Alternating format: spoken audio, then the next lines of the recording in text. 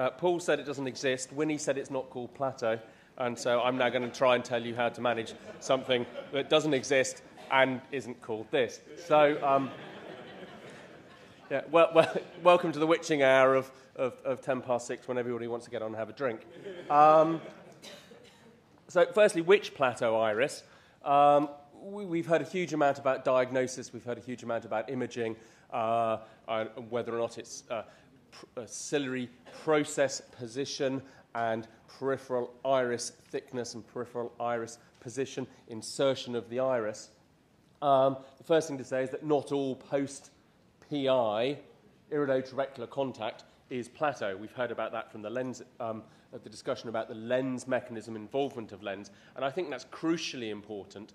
I'm going to try and restrict myself here to those, to the, to the management of those individuals in which we hypothesize from our clinical examination um, that there is a less of a contribution from the lens itself, uh, because in those individuals, I think it's quite clear that we should probably just be simply removing the lens. Um, how many truly distinct entities do we face? Uh, Winnie uh, would like to consider most of these in one group. Um, whether it depends whether you're a splitter or a lumper, I think, in a classification terms, and I would tend to split those up into a number of different distinct entities. But the important question for that is whether or not it is actually going to be something that affects our treatment decisions. Because in the end, we're all clinicians and we want, to, we want to treat patients and have something that's going to help guide us. So, the, the, the final question really is what's the effect of race? And I think we have to be crucially careful, exquisitely careful, uh, in how we interpret a lot of the evidence we've heard today already um, in terms of what population is, uh, the, are those data being drawn sorry, what population are those data being gathered in? Because it's quite clear, Paul's shown that there are distinct differences in the behavior of Mongolians from Singapore Chinese, which are largely Han Chinese and Southern Chinese, um, and they're all East Asians. They are going to be very, very different from blue eyed Caucasians in, in, in Iceland, say. We have to be, I think, have our, really have our wits about us uh, and not be um, lulled into falsely extrapolating from one group to the other simply because there's a paucity of general evidence. So those are sort of the caveats aside. Um, uh, the caveats really for what I'm going to talk about um, for the next 10 minutes or so. Um, effects of race are clearly going to be on the underlying anatomy. Iris characteristics are very thick, um, somewhat more rigid irises in irides in the Chinese, uh, possibly treatment response. We've seen this slide, or at least this paper referred to already, with definitions of, of, of what some would consider to be plateau. Um, Tin and his group, along with Prin in um, Bangkok, uh, required each one of these characteristics to be present clinically and on UBM for them to consider that individual had what they were calling plateau and came up with a figure of around 30% of their angle closures and we've talked about mechanism.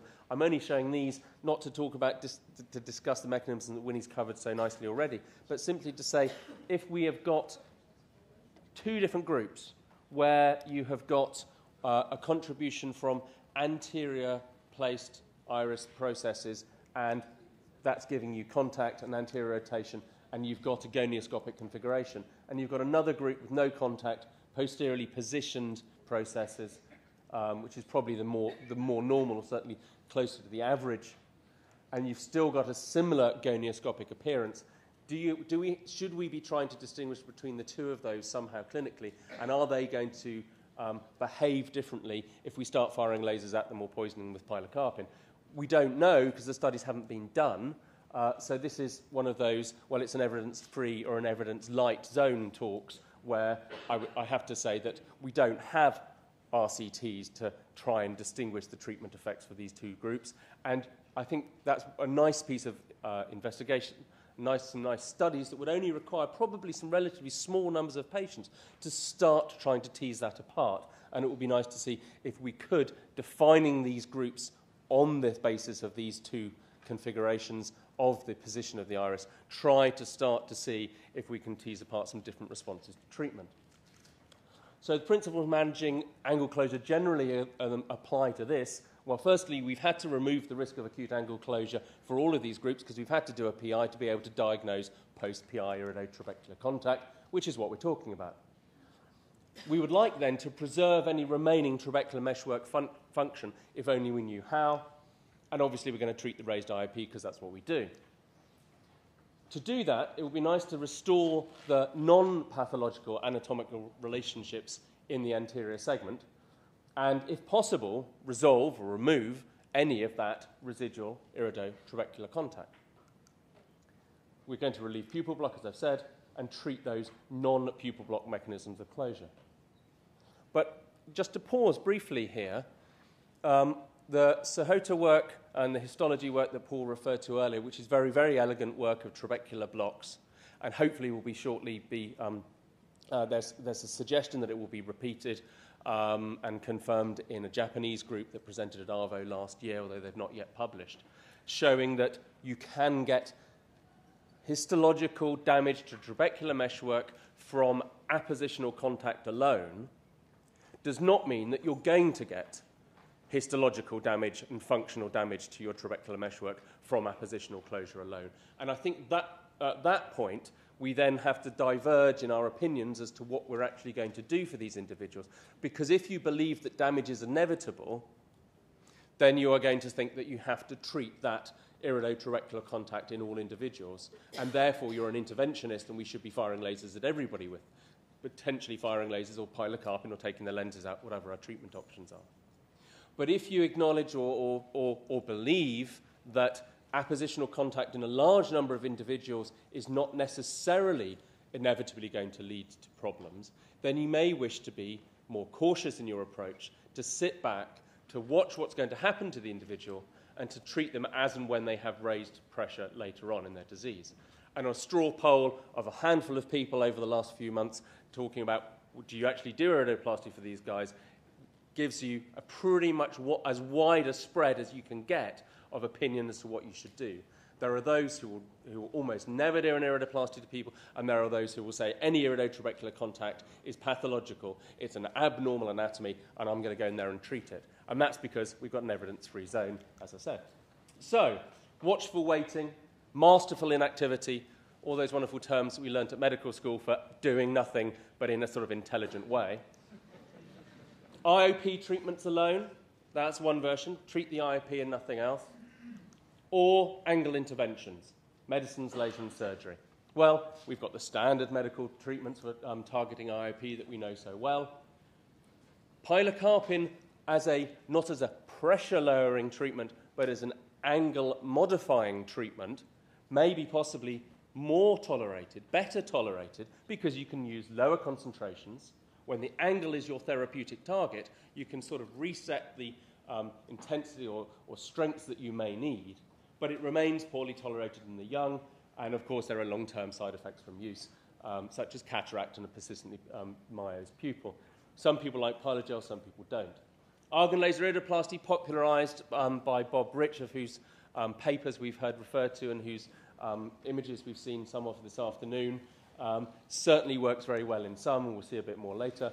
And then lens extraction, um, and I've learned a great deal from Paul's um, extensive experience in the high hyperopes of firstly, beware the refractive surprise.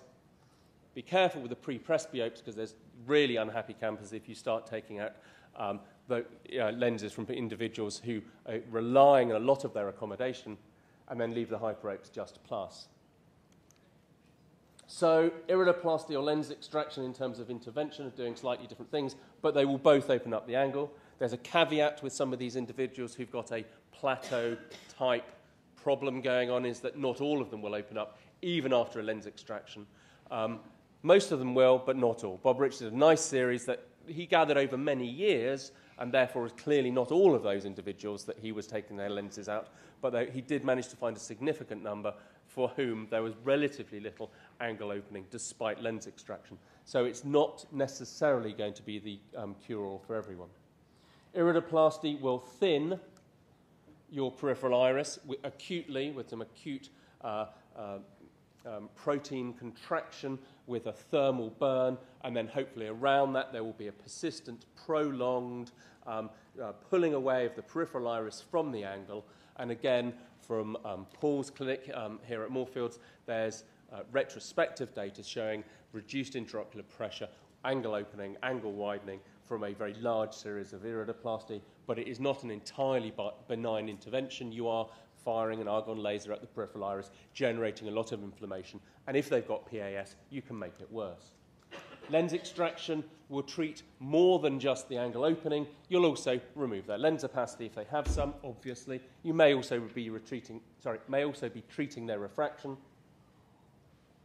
And somebody who's been a lifelong high hyperopen thick glasses and called specky all their life may well love you at their next clinic when you actually get them out of glasses.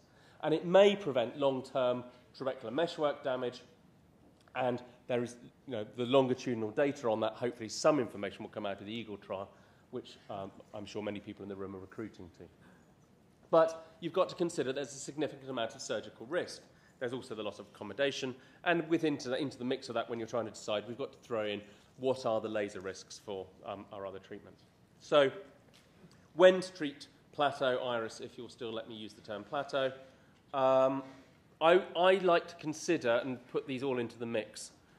The severity of the iridotrabecular contact, so that's height and extent. If you've got, a, if you've got low plateau, which is just touching the, uh, the more posterior trabecular meshwork and that alone without any evidence of intraocular pressure rise, or if it's not extending through the full 360 degrees, I'm much more likely to observe that.